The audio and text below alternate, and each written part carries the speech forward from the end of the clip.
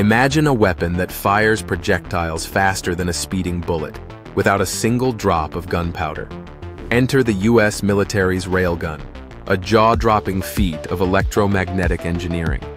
Instead of using traditional explosives, the railgun uses a powerful electric current to generate intense magnetic fields, hurling metal projectiles at speeds exceeding Mach 7. That's over 5,000 miles per hour.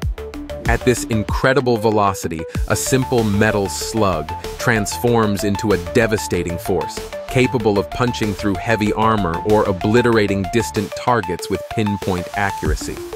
The railgun's range far outclasses conventional artillery, reaching distances of up to 100 miles. What's even more mind-blowing? Its projectiles are cheaper, smaller, and safer to store than explosive shells, enabling rapid, repeated firing without the risks of traditional munitions. This revolutionary technology could change naval and land warfare forever, offering unmatched speed, power, and cost-effectiveness. The railgun is no longer science fiction. It's the next chapter of American military dominance and a true electromagnetic marvel reshaping the battlefield.